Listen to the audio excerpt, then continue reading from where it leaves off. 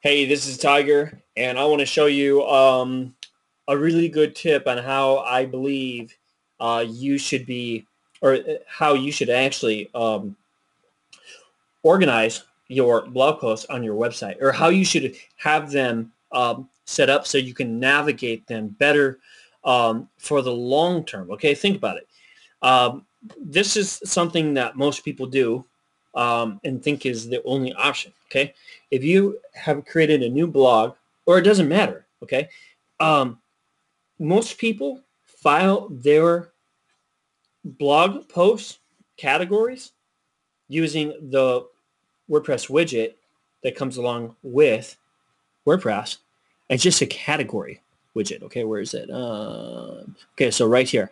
Otherwise, your theme might have its own uh, special, uh, especially styled, um, you know, or specifically styled category widget. Okay, and a lot of times, you know, you just stick it on your sidebar somewhere, usually in the middle somewhere, and uh, it's going to look something like this. Okay, you can use. Um, let's change the setting here. Let's make it a drop down. Okay. See how that looks. Okay, but that's one of the ways you can do it. So it's showing categories, which personally I think that looks really ugly. Otherwise, you can do this, you know, right? Whoa, that's even uglier. Okay, this little thing that you never really pay attention to. And from my experience, when I go to a blog, I don't ever pay attention to this much. I mean, the sidebar is in a way it's kind of bittersweet. It's a great place to put things and advertise, but at the same thing or at the same time, images, image links, I don't think get clicked on that much. Even like ads like this, because you already know this is where the advertising goes. Okay, so your categories kind of get lost in everything, and you don't see it at the very top. the The first area that you see on a website is the very top, the menu bars, and the links on your menu bars are usually the most respected uh, links that you're ever going to click on, okay? Because this takes you to the important stuff. This takes you to content on your website that you want to read about, okay? And I think one of the biggest mistakes that people make is not using this to actually navigate to your blog post and put your content categories on here. So I'm still building content on this website. I'm really putting an emphasis on my YouTube channel. But it was really important to me to make sure I have all the most important links I have here and maximize drop-down menus, okay? Tiger Tools. These are affiliate links, okay? These are literally affiliate links to products.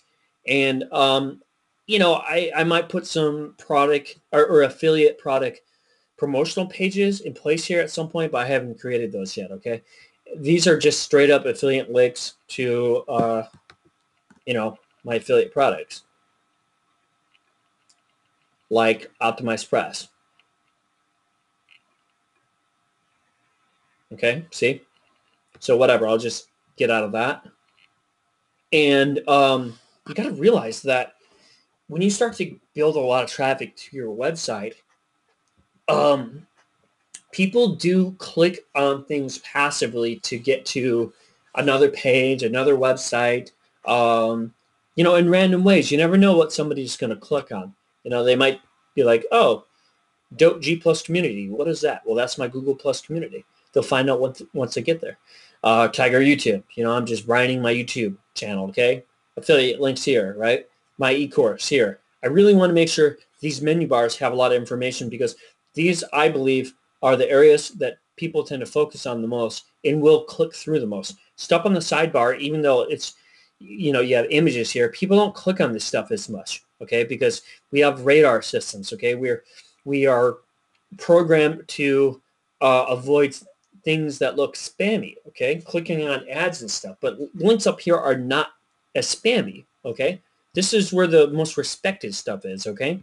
So what I did and what I've done on previous blogs, um, before I used to have a secondary menu bar like this one, uh, actually with my blog categories, but this is actually actually being used for something else. So I can't do it that way. But what I'm saying is take advantage of your menu bars and actually put your content here. Okay, these are categories, and these are actual blog posts. Okay, store your content on your menu bars, okay, at the top, because this is where your traffic is going to see your content the most, okay? Most people don't, I can guarantee it, most people don't go down here and click on this shit, okay? Do you? it's much more appealing if it's up here. So think of, about the long-term traffic benefits because every single page, just by every single page on your website has these menu bars. So, you know, people can literally get access to or navigate to every single blog post you've ever written. Check this out. A lot of people just put their blog roll on their as their home page. First of all, you want to put a product on your home page. Get a theme that has a product. If you're selling your own product, do this. If you're not, fine. But most websites are set up like this. This is your home page. And your blog posts are here. And a lot of people think that's enough. It's not enough. Because you know what? All this is doing is showing the most recent posts. And how often do you go to a website and you click on the recent post, but you're like, eh, I don't want to search for more posts. You know, I don't want to click through every single one of these one, two, next page uh, buttons here and figure out, you know, uh, you know, what I want to read next. What you need is a hierarchy like this. You have your categories here. You can even have more subcategories so people can literally get access to every single piece that you've ever written rather than going to a boring archives page or coming down here, clicking on this unappealing little category drop-down bar, um, or however you have it displayed. Do you see where I'm, where I'm going with this? You want more page views. You want people to keep coming back to your pages or to your website and keep reading more. And the key to get uh, higher page views clearly is making it navigatable. Okay, it's huge. Set up, Go to your menu bars. Okay, go to your menu bars here, the menu bar uh, section, and set it up. Okay, you have a primary and a secondary menu bar for most blog themes, WordPress themes, and all you need to do is set it up, right? Just put links to your blog posts eh, you know, filed under a hierarchy of your blog post categories, and that's it. Okay, peace out, Tiger.